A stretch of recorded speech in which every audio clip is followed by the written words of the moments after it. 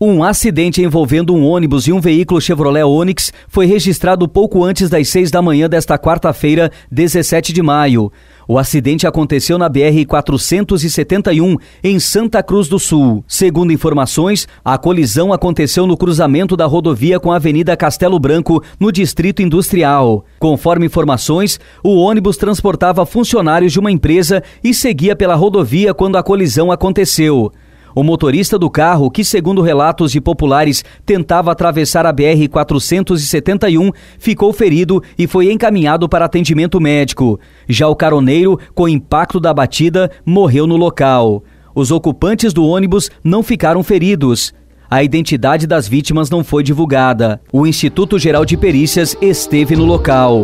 A ocorrência foi atendida pelo Corpo de Bombeiros, Brigada Militar, Comando Rodoviário da Brigada Militar e pela Guarda Municipal de Trânsito de Santa Cruz.